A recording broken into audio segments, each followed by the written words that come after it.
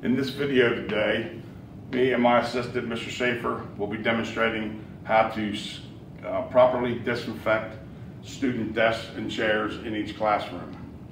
As you can see, Mr. Schaefer is wearing PPE latex gloves, which is you want to be using while using our Q57 Ecolab Disinfect. Uh, what we're going to do is show how to do a classroom. If there are any students in the classroom, make sure they're safely away, distance away, while spraying a desk and chair. Mr. Schaefer? He's going to spray the whole desk and the whole chair.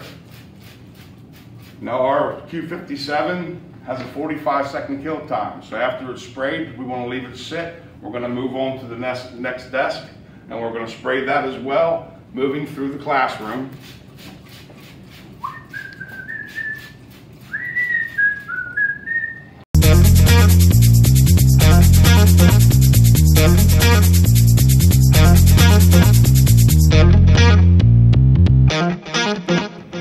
Now that you've made your way the whole way around the classroom, you want to come back to where you started, the first desk and chair that was sprayed.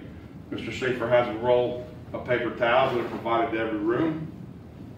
He will go ahead and wipe down the desk and the chair. It does not need to be completely dry. Make sure you wipe everything down, and then he'll move on to the next. Thank you all very much for watching. Let's all have a safe school year. Thank you very much.